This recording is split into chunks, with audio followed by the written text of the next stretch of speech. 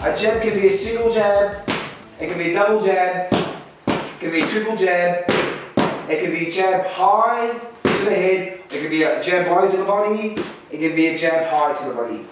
As we punch out, it's more of a parallel punch. The two biggest knuckles should be actually making contact with the target. As she returns that jab back home, we can actually throw out the vertical jab, very similar to what they do in Kung Fu, the vertical jab. Why? Because if my guard is tight here, the vertical jab is a very good weapon to use. If Hershey returns her hand and goes back to the horizontal jab, the guard cannot be broken. However, she brings it back and goes to the vertical jab, it will go, it will force through. I'm not, I'm not creating magic here.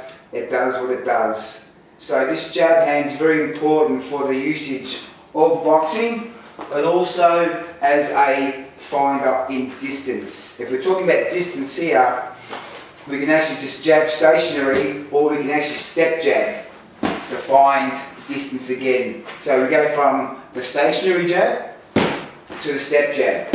So we're covering distance. Again, jab, jab in, jab out.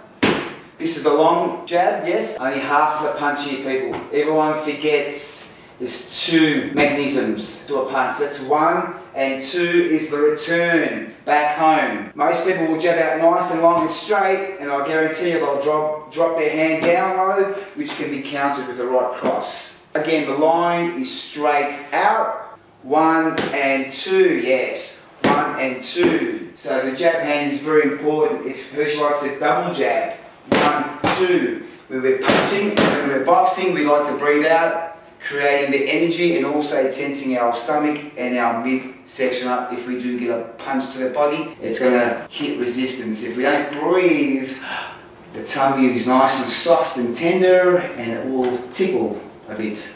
So it's very important we're starting to breathe with a single jab, double jab, triple jab, jab to the body, followed by the cross. It's the major punch we're after. For the jab, setting up the cross. Boom.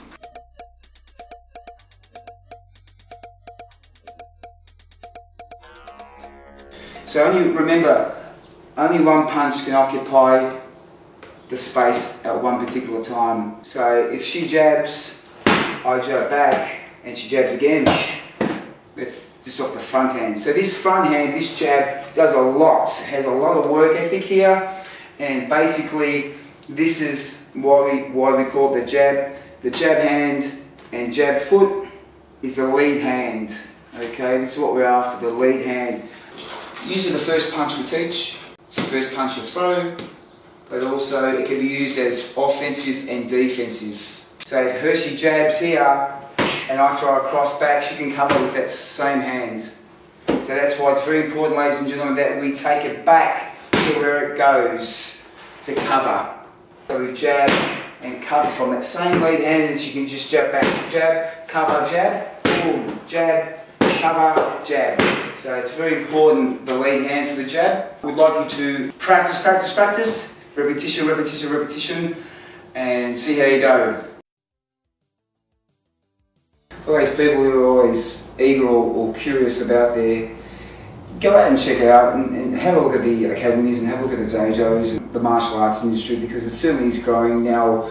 We're in the forte of the MMA. I go back to UFC 1, which was back on the days of the VHS days, with Royce Gracie and the BJJ. So um, going to the fights also were part of the, the martial art training. So seeing great fighters like John Wayne Parr and, and Michael Zambidis great promoters like Bob Jones and like Sam Greco and Stan the Man Longinidis fight. So yeah, my history is long. I don't know everything. I'm certainly still a student of martial arts and I think I always will be. For those people who are always keen or curious or just not able to get out there, make some spare time for yourself because it's just not the mental attitude, it's the spiritual and connection with yourself. You know, you can certainly learn a lot about yourself in the martial arts. It's very very hard sometimes to um, have self-control.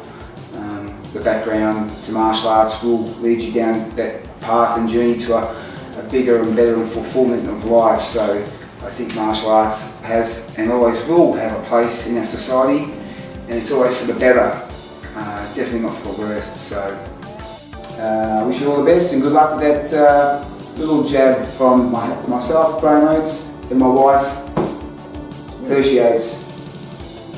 Keep, keep punching.